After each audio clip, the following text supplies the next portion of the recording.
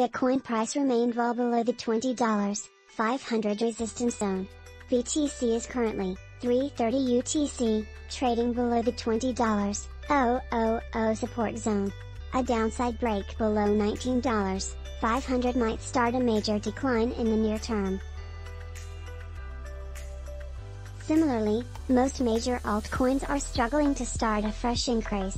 ETH started a major decline and traded below the $1, 500 support. XRP is moving lower towards the $0, 32 support. ADA might revisit the $0, 45 support zone. After many failed attempts, Bitcoin price settled below the $20, 000 support zone. BTC even moved below the $19, 800 level in the 50-hour simple moving average. It is now consolidating above the $19, 500 support zone. The next major support is near the $19, 350 zone, below which the price could even test the $18, 800 support zone. On the upside, the price is facing resistance near $19, 880.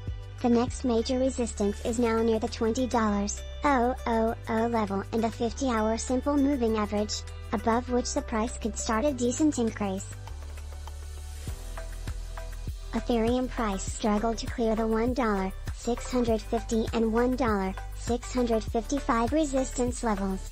As a result, there was a sharp bearish reaction after the merge completed.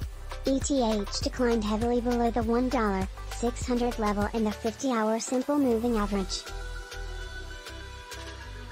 It even broke the $1, 500 level and tested the $1, 460 support. The next major support is $1, 420, below which price could revisit $1, 350. On the upside, an immediate resistance is near the $1, 500 level. The next major resistance is now forming near the $1, 560 level. Cardano, ADA, failed to clear the $0, 48 resistance zone. It reacted to the downside and traded below $0, 465. Any more losses might send the price towards the $0, 45 support. BNB is consolidating near the $272 support zone.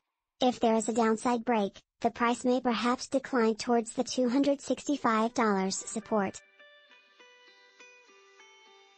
The next major support sits at $250. Solana, SOL, is again moving lower towards the $32. 20 support. If the bears remain in action, the price could even test the $30. 50 level. Conversely, it might rise and test the $34. 50 resistance. Doge traded below the key $0. 060 support level. The next major support is near the $0.